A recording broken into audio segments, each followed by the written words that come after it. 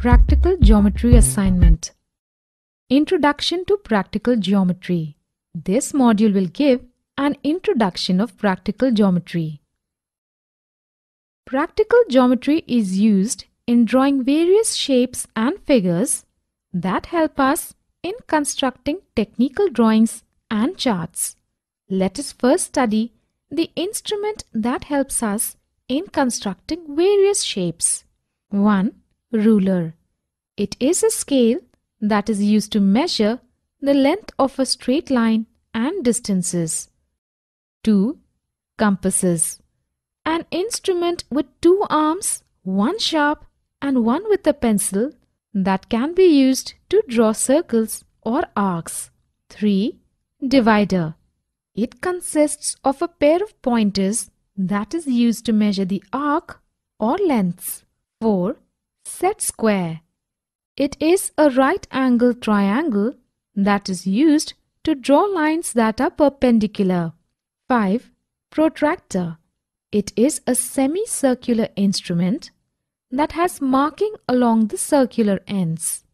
It is used to measure and draw angles.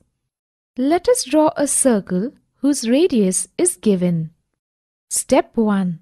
Draw a line segment of the given radius. Name it PQ. Step 2. Place the pointer of the compasses at P and open it for the required radius PQ. Step 3. Now turn the compasses slowly to get the required circle. We get a circle with center P and radius PQ. Example, draw a circle of diameter equal to 8 cm. Explanation, we first find the radius of the circle. We know that the radius is half of the diameter of the circle. So, the radius is equal to half of 8 cm which is equal to 4 cm. Now, let us draw the circle. Step 1. Draw a line segment of length 4 cm. Name it PQ. Step 2. Place the pointer of the compasses at P and open it for the required radius PQ. Step 3. Now turn the compasses slowly to get the required circle. Example, draw concentric circles of radii 3 cm and 5 cm.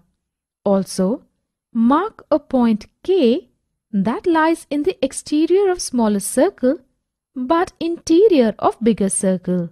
Explanation Concentric circles are the circles that have same center but different radii. We first draw a circle of radius 3 cm from a point O. We follow the steps as shown here. We first make a line segment of 3 cm. Mark one end of it as O.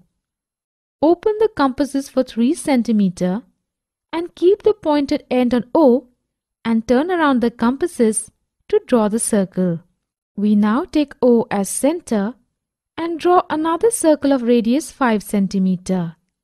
For this, we open the ends of the compasses for 5 cm. Then we keep the compasses pointer end at O and slowly turn around the compasses to get the second circle. Thus, we get the required concentric circle. Now, mark the point K anywhere outside the boundary of inner circle but inside the boundary of outer circle.